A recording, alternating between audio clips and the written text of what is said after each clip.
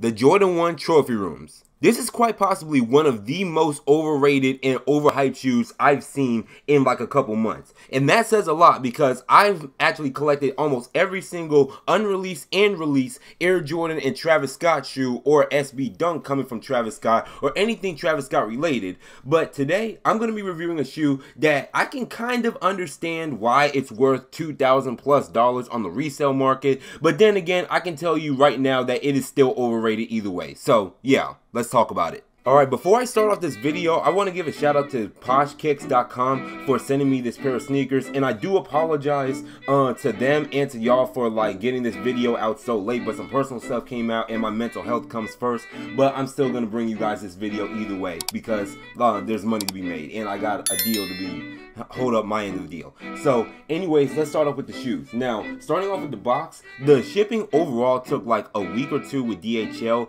Uh, I don't know what it is with DHL now, but they're taking way too long to ship and deliver their items now. And, and most resellers or like uh, replica makers are going with UPS instead as it's slightly faster, but still gonna take like a week or two. But anyways, let's get into the box. Now the box for the trophy rooms, I can say it's actually a really good box and I really did not expect for the box to be this good. And you can see it's like a two-tone light blue and darker blue gradient on it with Nike Air and Nike branding all over it with stars and everything. And um, if you look on the side, on the size tag where it says um, Air Jordan Retro High OG SP, it says white, black, varsity red, sail, and sail.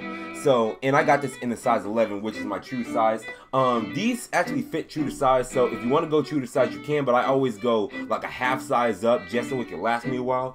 But getting into the shoes, here's the shoes, and it came in this white paper and everything. And opening up the shoes, like, I would say that these shoes kind of conflict me in a way. And let me explain, because this is sort of like the Chicago but it's not really a Chicago if you get what I'm saying. It has the basic colorway of the Chicago, but it's all glittery, it's all glossy. It has like this satin gloss, like glitter effect to it. Now, don't get me wrong, it does look nice on paper, but really, like, you're gonna have a hard time trying to find this um to match your clothes or like trying to find clothes that can match this. But let's get into the sneaker. Now, Basically, it's like the Chicago colorway, like I said, and all over the overlay, the toe box, the heel and everything, you have like this sort of like satin finish on it with glitter effect, like I said earlier. And on the back heel on both sneakers, you have MJ's uh, signature on it as well. And you also have the Air Jordan Wings logo on both um, the outer side of the sneaker as well.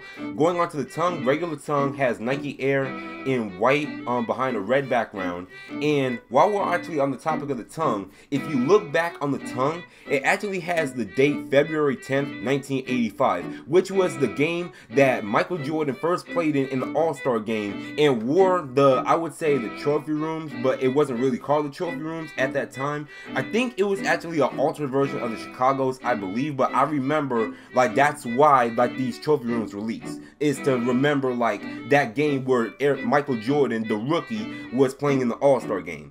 And also peeling it back um, on the inner side, on the inner sock liner, it has rumor has it on each side of the sneaker, both on the left and the right. And like I just said, the right sneaker actually has the date of the All-Star game that MJ played in. On the left sneaker, on the back side of the tongue, it has the numbers. And this one is number 15 out of 12,000, which is the amount of pairs that they made for the trophy rooms. And I gotta tell you right now, Nike, y'all gotta stop like skimping out and making these shoes this limited because it's gonna cause resale um, problems, and people that really, really want it aren't gonna be able to get it because resellers are gonna hop on the opportunity. But anyways, this one's just my pair is actually number 15 out of 12,000. I know other pairs is gonna be at random. Going on to the insole, now regular insole, but the only thing that's different this time around, it has the Air Jordan Trophy Room logo that's on the uh, heel of the insole on both sneakers.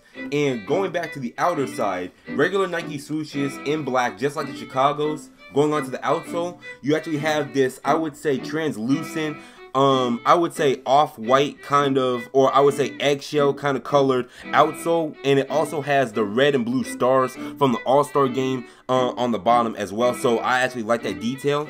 And also, one last thing that I also forgot to mention is that uh, there is two things I need to mention. Now, uh, inside the box, it also came with this little ticket that from Trophy Room, and it's basically like the seating or like the seating ticket for the All Star game that happened in um, uh, 1985. And also, the second thing I also want to mention is that this is actually uh, one of the two variants of the Trophy Room ones. Now, one actually released on sneakers like they always do. The other version came out on Trophy Room's website, and there was a raffle for that. And I don't understand the point of a raffle if you're still gonna pay for it. But the my pair came with white and red laces, and also the standard black laces. The Trophy Room version comes with the blue laces, as you guys probably saw in pictures that I'm showing at the beginning, and also up here on the screen right now. So that kind of caused a little bit of commotion with like trying to figure out which one like is trying to be distinguished and there's two different versions so really they just gave replica makers an excuse to try to like justify like why is there two different versions why is there two different shapes on it so really at the end of the day it's not really gonna matter it's still the trophy rooms at the end of the day and that's pretty much it about the shoes and the last thing that I also want to talk about is the resale and like why I personally don't like this shoe now the main reason why I don't like this shoe is because uh, it's not really a Chicago. Now, I really wanted the Chicago's, but I ended up getting the Trophy Rooms instead. But not to say that the Trophy Rooms is a bad shoe. I just personally can't see myself wearing anything white and red.